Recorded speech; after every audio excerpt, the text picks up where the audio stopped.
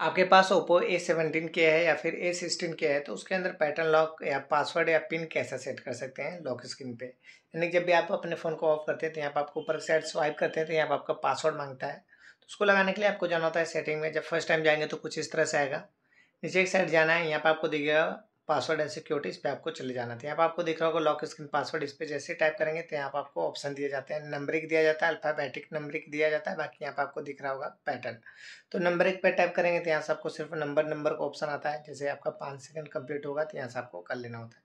Type करेंगे तो यहाँ पर आपका आ जाता है नंबर का। बाकी इस पर जब टाइप करते हैं तो यहाँ पर आपका फोर डिजिट फोर से सिक्सटीन डिजिट बाकी दो, बारह वही अल्फ़ाबेटिक नंबर का आता है और पैटर्न आता है। जो भी आपको लगाना होगा चारों में से एक पे कर लेंगे।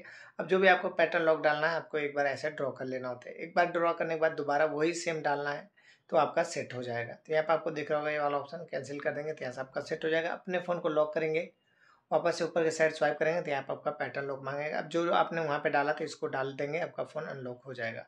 तो कुछ इस तरह से आप अपने फ़ोन में कर लीजिएगा। अगर वीडियो अच्छी लगेगी तो लाइक कमेंट शेयर सब्सक्राइब कीजिएगा। मिलता है नेक्स्ट वीडियो में, तब तक के लिए बाय